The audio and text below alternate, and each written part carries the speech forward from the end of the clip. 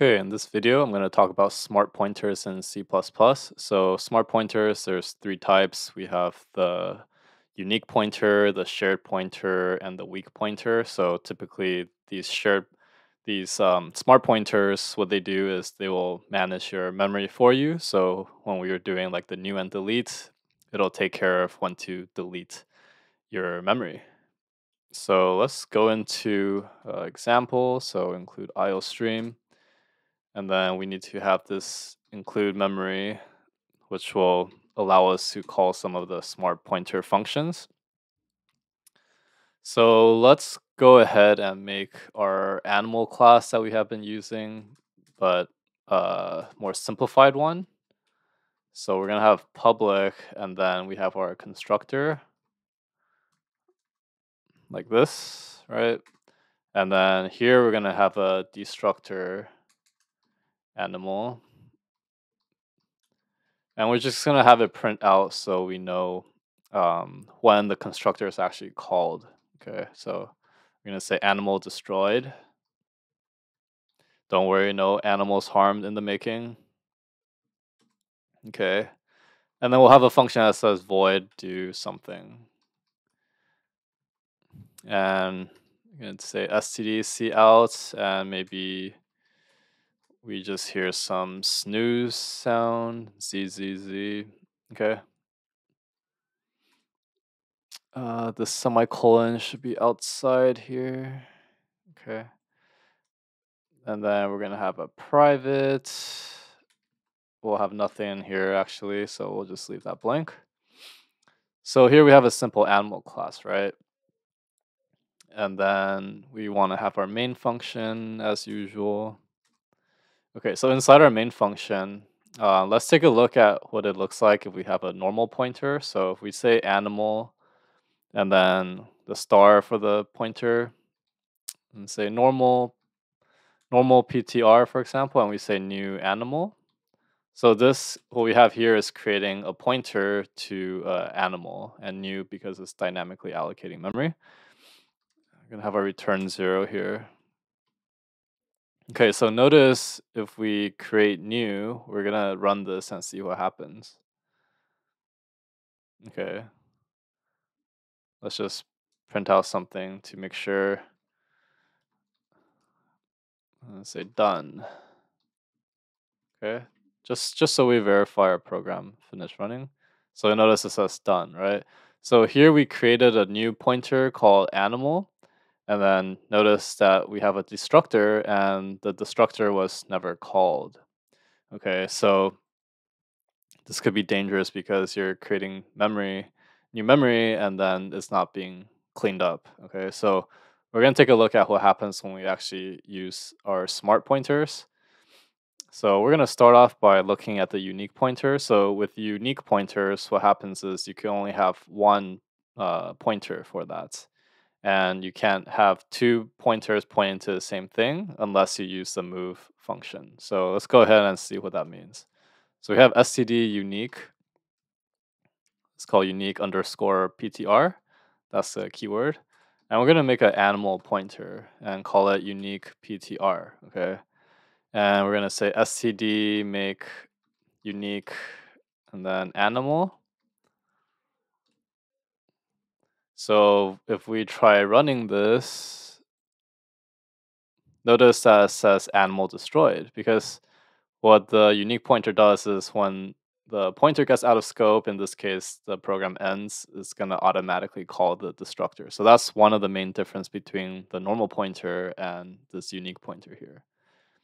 So let's say we want to try pointing this to something else. So if we have a unique pointer here, and we're just gonna call this unique pointer two, and maybe we're thinking of making it point to our first one, we're gonna see a problem. So we'll let IntelliSense load a little bit, but let's just start showing some errors. So we can see here, this says, you know, note declared here, error use of delete function. Okay, so it doesn't like this, right? So the proper way of doing this is to use the move. So if you wanted to have something point to it, you could say we're going to do auto keyword just because it's simpler. And you can say std move and then say unique pointer. Okay, so this will move the unique pointer to unique pointer 2. So if I run this, we shouldn't get an error. And you can see it runs fine. Okay, let me just clear this so we can move up. Okay, let me just run this again. You can see that everything is working. So that's the idea of unique pointers. And then we have what's called a shared pointer. So with shared pointers, it's going to look pretty similar to unique pointer, but now we're going to have the shared pointer syntax called shared PTR. And we're going to say std make shared animal. Okay, so this is our shared pointer. So if we run this, let's just comment this stuff out because um, just so we don't lose focus. So if I run this, notice that again, right, the destructor is called for us. But one thing with shared pointers is that unlike unique pointers, shared pointers, you could have more than one pointer point to that pointer. So there's actually a count that's keeping track of how many times it's being uh, used.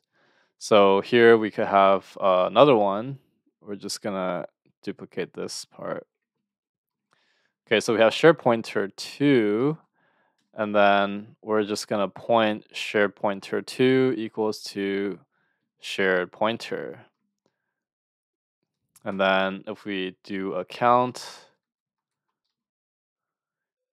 uh, share pointer dot use count, and if we say std cout count, we're going to see how many times it's called.